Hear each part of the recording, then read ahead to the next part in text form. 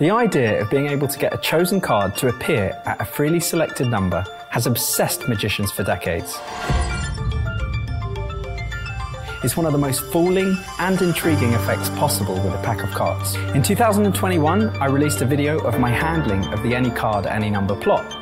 Within minutes, I was receiving messages from magicians all over the world asking if the method I was using was real or whether it had used a stooge. The method was real and the reactions were genuine. That's really good. I designed Miracle One because I wanted to be able to guarantee that the effect worked every single time. I also wanted to make it feel hands off. My aim was to make it seem as if I couldn't have influenced or controlled anything.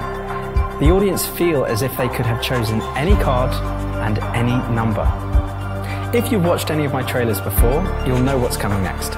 You're going to see a full performance with one continuous camera shot. This is your chance to see the effect in its raw, unedited form. Lena, thank you for joining me. I'd like to show you something quite incredible. We have two decks of cards here, and I'd like you to choose either deck. The blue one. Right, so move it closer to yourself, and we're going to come back to that in a moment. But first off, we need a card selected, like a bit like a raffle, right? So we need these thoroughly mixed. Are you comfortable shuffling cards? Mm -hmm. Do you give these a, a shuffle for me? Like this. I'll move this over there. That's it. And I'd like you to place the cards face up on the table and I'd like you to cut the deck and complete the cut. Now every time the cards are cut, it, it, brings a completely different card into play. And because we're cutting these face up, I can see these cards. So I want to park a prediction, but I want to make it mysterious. Pick them up, turn them face down, and place one face down over here. It's mysterious because we don't know what it is, right? But you shuffled and you cut. So place these over here.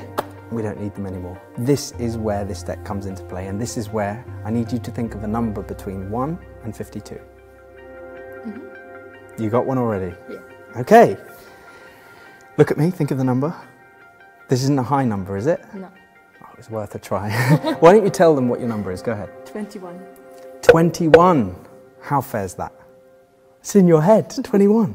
But here's the best bit. There is a card in here at the 21st position. I want you to take the cards out of the box for me. I won't touch the deck. Go ahead. That's it. Hold them face down. All right. And deal 20 cards here, but deal the 21st card over there. One, two, three, four, five, six, seven, eight, nine, 10, 11, 12, 13, 14, 15, 16, 17, 18, 19, 20. This is the 21st card. You could have named any number between 1 and 52. Deal this card face down here for a moment. Now, let's just recap. You took that deck, you shuffled it. You then cut anywhere. Is that correct? Mm. You could have cut anywhere and you placed a card aside. You then chose a number between 1 and 52, which would have given you any of these cards here or any of these cards here correct? Turn it over. Let's have a look what you have. The Eight of Hearts. It'd be good, wouldn't it? Here are the key points for you to know. First of all, the effect works every single time. Their chosen card is always at their name number.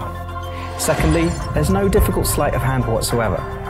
And lastly, I truly believe that this is one of the most deceptive versions of the plot due to its multi layered methods.